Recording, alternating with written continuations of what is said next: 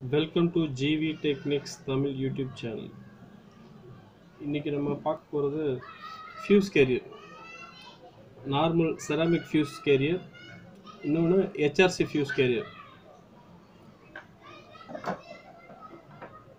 இந்த ceramic fuse carrier first fuse carrier எதுக்காக பயன்படுத்துகிறோம் அப்படின்னு பார்த்தீங்கன்னா ஷார்ட் சர்க் ஷார்ட் சர்க்கியூட்லேருந்து சேஃபாக இருக்கிறதுக்காகவும் இன்னொன்று ஓவர்லோட்லேருந்து பாதுகாப்பா இருக்கிறதுக்காகவும் பயன்படுத்துகிற இந்த ஃபியூஸ் கேரியரை இந்த ஃபியூஸ் கேரியர் வழியா ஒரு ஓவர்லோட் கரண்ட் போகுதுன்னு வச்சுங்களேன் சட்டன் டெம்பரேச்சர் மேல போகும்போது ஓவரா ஹீட் ஆகி இந்த ஃபிலமெண்ட்டே கட் ஆயிடும். ஃபிலமெண்ட் கட் ஆகி அவுட்புட் வோல்டேஜ் போகாது சேஃபா இருக்கும். அதுக்காக பயன்படுத்துறது. த்ரீ ஃபேஸ் சப்ளை ஒரு ஃபேஸ் ஃபெயிலியர் ஆயிடுச்சுன்னா நம்ம செலக்டர் சுவிட்ச் மூலியமா வீட்லயே சேஞ்ச் பண்ணிப்போம். அப்படி சேஞ்ச் பண்ணிட்டு மறுபடியும் அந்த ஃபேஸ் ஃபெயிலியர் ஆனது திருப்பி வந்தாலும் நம்ம மறுபடியும் சேஞ்ச் பண்ணி த்ரீ ஃபேஸ்ல டிவைட் பண்ணி கொடுக்காம விட்டுருவோம் சில டைம்ல மறந்து. அப்படி மறக்கும் போது என்ன ஆகும்? ரெண்டு ஃபீஸ் கேரியர்ல போக வேண்டிய லோடு ஒரு ஃபீஸ் கேரியர்ல போகும்.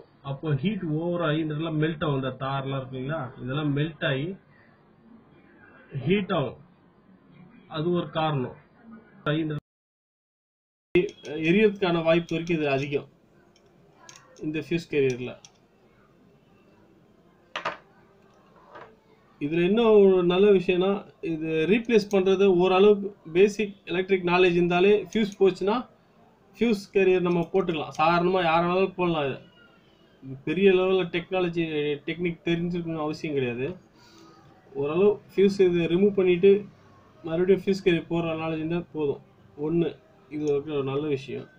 இன்னொன்று இதில் இருக்க ஒரு ஃபியூஸ் கேரியர்ல ஃபியூஸ் போடுறோம்னா அது என்ன ஆம்ஸ் ஃபியூஸ் கேரியர் அதுக்கேற்ற திக்னஸ் உள்ள கேஜ் கரெக்டாக செலக்ட் பண்ணி போடணும் ஒன்று இன்னொன்று அது குவான்டிட்டி எத்தனை ரன் ஒரே ஒரு ரன் போட்டால் போதும் இல்லை ரெண்டு ரன் போடுவாங்க. அது வந்து ஆம்ஸ்க்கு ஏற்ற மாதிரி இப்போ சிக்ஸ்டீன் ஆம்ஸ் எல்லாம் ரொம்ப தின்னா மெல்லிசா ஒரே ஒரு கம்பி தான் போகுது.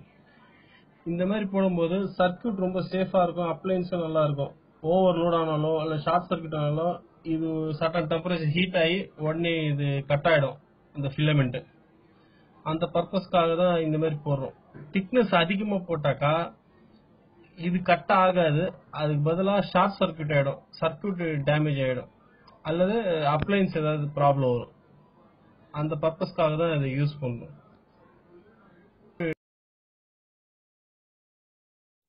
அடுத்து ஹெச்எஸ்சி ஃபியூஸ் பார்ப்போம்.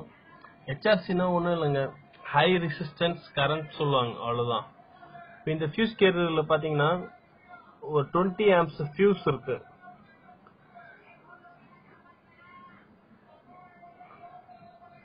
இந்த ஃபியூஸ் தான் டுவெண்ட்டி ஆம்ப்ஸ் ஃபியூஸ் இப்போ இதில் இதுக்கு இந்த ஃபியூஸும் அந்த செராமிக் ஃபியூஸ் கேரியர் பார்த்தோம் இல்லைங்களா அதுவும் ரெண்டுமே பண்ற ஒர்க்கிங் பிரின்சிபல் பார்த்தீங்கன்னா ரெண்டும் சேம் தான். எந்த ஒரு வித்தியாசமும் இல்லை.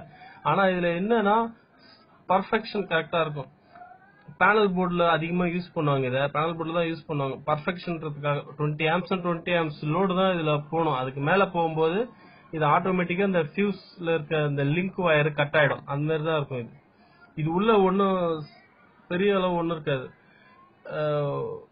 ஃபயர் ரெசிஸ்டன்ஸ் கெமிக்கல் இருக்கும். அப்புறம் ஆக்சிஜன் இருக்காது. நமக்கு எல்லாருக்கும் தெரியும். ஆக்சிஜன் இல்லாத பொருள் எதுவுமே சீக்கிரத்தில் எரியாது.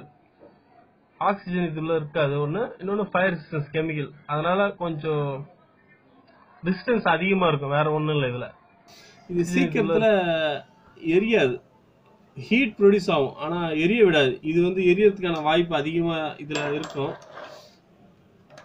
இதுல எரியறதுக்கான வாய்ப்புலாம் நிறைய இருக்கு. ஆனா இதுல வந்து இது எரியாது. ஏன்னா காத்து இல்லாத எந்த ஒரு பொருளும் ஃபர்ஸ்ட் ஃபயர் ஆகாதன்றது நம்ம எல்லாருக்குமே தெரியும். நம்ம எல்லாருக்குமே காற்று இல்லாத பொருள் வந்து ஒரு ஃபயர் ஆகாது தெரியும். இதில் பார்த்தீங்கன்னா ஏர் கண்டென்ட்டே கொஞ்சம் கூட போகிறதுக்கு வாய்ப்பே இருக்காது. ஆக்சிஜனே இது உள்ளே போகாது. ஒன்று அதனாலே இது எரியறதுக்கான வாய்ப்பு ரொம்ப கம்மி. ஒன்று இன்னொன்று இதில் ஃபயர் ரெசிஸ்டன்ஸ் கெமிக்கல் ஆட் பண்ணியிருப்பாங்க ப்ளஸ் இப்போ வர ஹெச்ஆர்சி ஃபியூஸ் லிங்க்லலாம் வெறும் காப்பர் ஒயர் மட்டும்தான் இருக்கும்.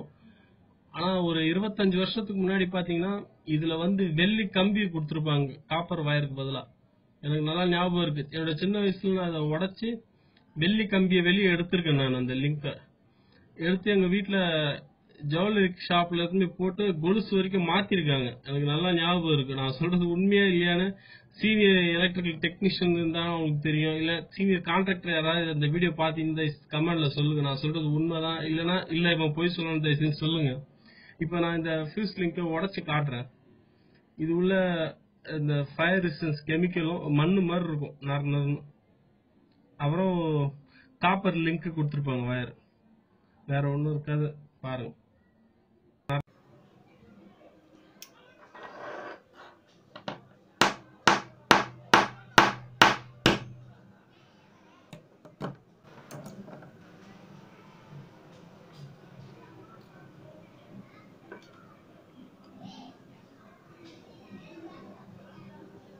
இது உள்ள தெரியுதுங்களா? வெறும் காப்பர் தான் இருக்குது உள்ள.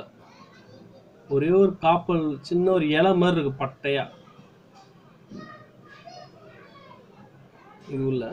ப்ளஸ் கொஞ்சம் கொஞ்சம் ஃபயர் ரெசிஸ்டன்ஸ் கெமிக்கல் கெமிக்கல் இருக்குது